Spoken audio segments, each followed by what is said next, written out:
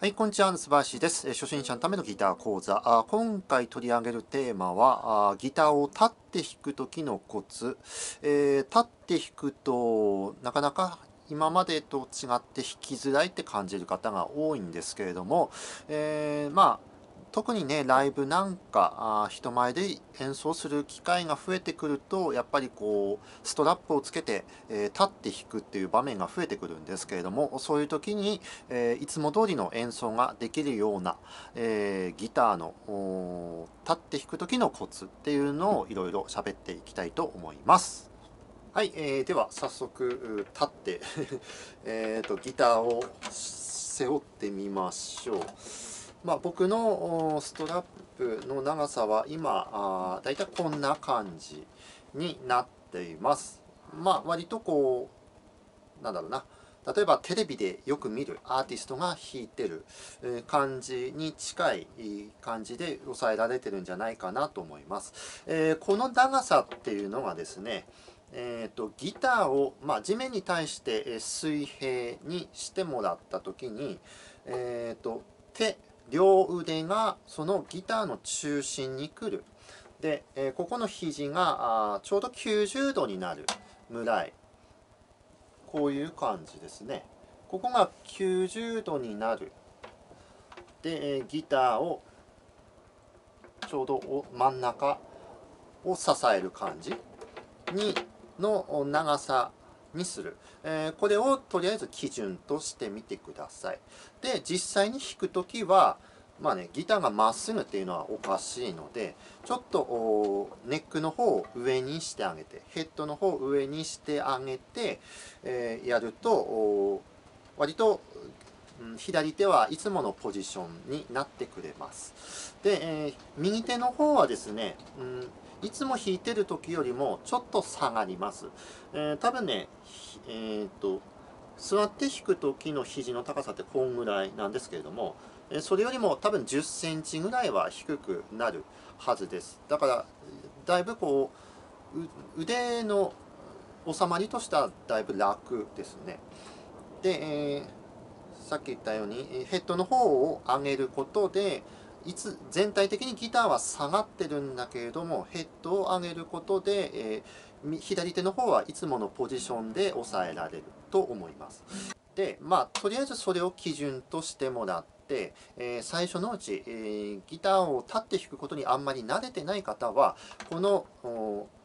90度の基準値よりも少し短くするストラップを短くしてあげることでギター全体がこういつもの弾いてる時のポジションに近づいてくれるので、えー、まあ、最初は短めに設定してで慣れてきたらその、まあ、今言ってる肘と肘が90度になるなってこうギターの中心を支えられるぐらいの長さまで下げることができると思います。これ以上下げちゃうとねまあなんかロックの方でなんだロックギターエレキギターの方だとなんか下げるほどかっこいいみたいなところがあるらしいんですけどもあんまり下げてもね弾きづらいので、えー、とりあえずそれを基準として、えストラップの長さを見てみてください。立って弾く時って、えー、こうやってですね今 F コードを押さえてますけれどもそうやって押さえてこっから自分の目から見ると、えー、ほとんど指板は見えない。指板っていうのはこのこっちのフレットの方ですね。これはほとんど見えません。うんとやっぱりし立ってると自然とこう背筋がまっすぐになるので、えー、まあ目線は真正面だしそっからこう見るとほとんどね指板は見えてくれません最初の頃はやっぱりそれあの指板が全く見えないぐらいの状態なのでまあどこを押さえていいかちょっと目視できないのでこう例えば違うところを押さえちゃうということがあると思います。うんまあこれはですねやっぱりギター歴がある程度ついてくるとうんこちらの方見なくても手でこう コードを押さえられるようになるんですけれどもうんいきなりねギター買って間もない方がいきなり立って弾くっていうのはこっちを結局見ないで弾くっていうことにつながるのでまずそれができるようになってから立って弾くっていうポジションポジションというか立って弾くっていう段階を踏んでいくといいと思います。えー最初の頃はねこうやって、えー、どこの弦を押さえたらいいんだろうってこうやってこっちガン見じゃないと押さえれない、まあ、そういう人は立って弾くことはちょっとまだ早いかな、うん、こっちを何も目つぶってでも弾ける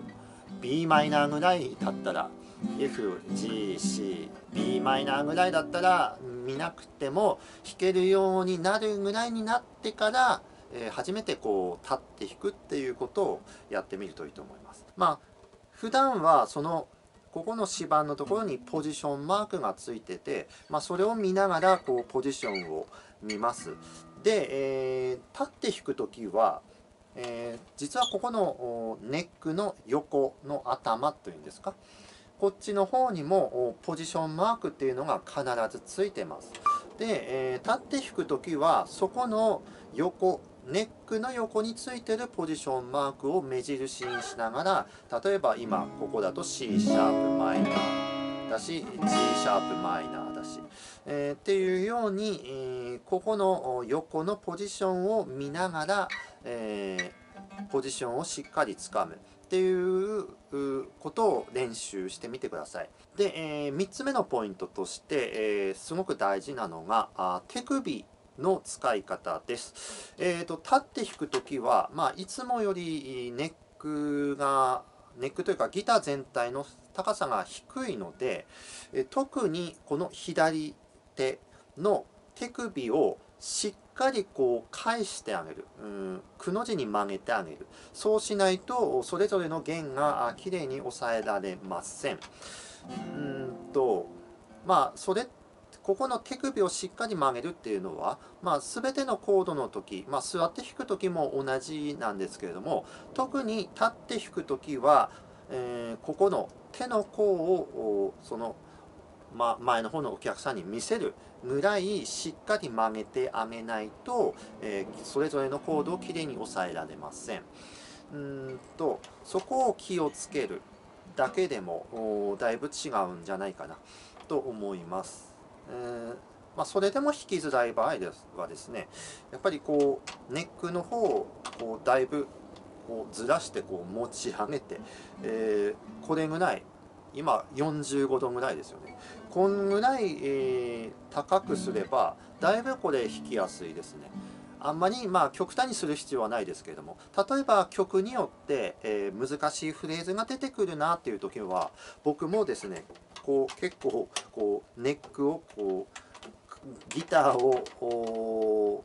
ヘッドの方を上げて、えー、ネックを自分に近づけてこう弾くっていうことをしたりもするので、えー、だからフレーズによってちょっと難しいなっていうところがあったらだってギター全体をこう傾けてヘッドの方を上げて上げて、えー、押さえるようにするとコードをきれいに押さえられると思います。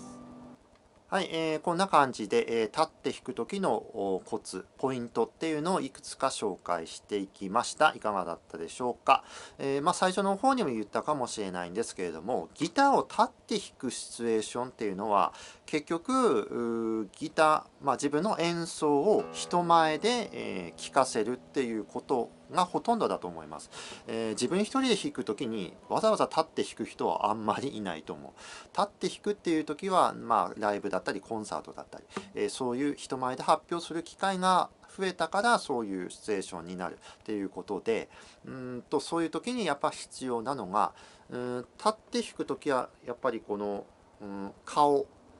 視線というのがお客さんの方を向いてるとすごくこう見たその演奏をお客さんとして見た時に何つうのかな意思の疎通が図りやすい。なんとなくずっと下ばっかり 向いて、えー、弾いてる人はなんかただ一人でやってるなみたいな感じに受け取られがち。やっぱこうねお客さんを目の前にして顔が真正面向いて、えー、まあそれが弾き語りであれ、えー、ギターの演奏であれ わーって途中で手振るぐらいの余裕がある、えー、そういうシチュエーションが多いと思います。そうすると結局、えー、顔はギターを向かないんですよね、うん、そうすると結局そのエア何？ノールックでギターを弾けないとそもそも立って弾くっていうことはできないと思います。人前で弾くっていうことは視線が自然と前を向く。そうするとギターを見れない、えー、もちろんねところどころでこう見ることはあってもずっとギターが見っていうことはなかなかないと思います。やっぱりそういう意味でも視線を前の方に向ける。そうそうすると自然とギターを見なくてもこちらの左手の方を見なくても演奏できるぐらいになるまで自分のギターテクニックを上げる必要がある。っていうのが前提になるのでうんまずそれができてからまあ、立って弾く時、うん、演奏。もちろんね人前で弾くっていうことはねある程度こうギターテクニックついてないと難しいし。まあそういう二重の意味でもある程度こうギター演奏に余裕がないとそもそも立って弾くっていうことは難しいんだなっていうことをど頭のどっかに入れとくといいんじゃないかなと思います。えー、だからそのえー、ギターを立て弾く時の難しさっていうのがどこにあるのかな、えー例えばギターのコードをちゃんと押さえられてないポジションがまだ染みついてないのに立って弾こうとしているのか、えー、単純にストラップが長すぎるのか、うん、そこら辺の原因はね一つ今あ紹介したポイントを一つ一つ確認していってあ自分はまだギターをこっちえー、しっかり見ないと弾けないからあそこでつまずいてるんだなっていうふうに気づけると思うので、えー、そんなふうにして自分の演奏をもう一回確認してみると、えー、改善点が自分で発見できるんじゃないかなと思うので是非それを試してみてください、え今回はこんな感じで終わりたいと思います。最後まで見てくれてありがとうございました。ではさようなら。